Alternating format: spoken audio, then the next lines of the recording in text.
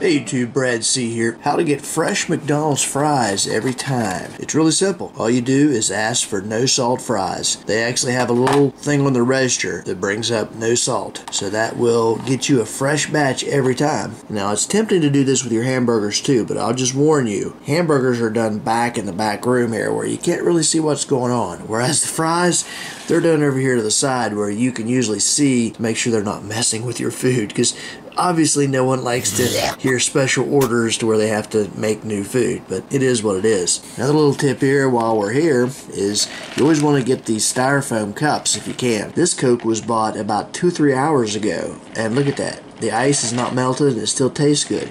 Now these are teacups and they'll only give you these for tea. So I always order a large tea and then when I get the cup I just fill it up with Coke. A lot of times the tea's actually cheaper than the Coke. And if it's not a self-serve type place then I just tell them hey uh, I'm gonna order a Coke but you mind give me one of those large teacups? They'll always help you out. Okay don't forget to like, subscribe, and check out the links below in the info section. I share some of my favorite products you can find on Amazon. It'll give you the best Amazon price plus you'll help support the channel channel just for looking. Remember, you can check me out at bradctv.com.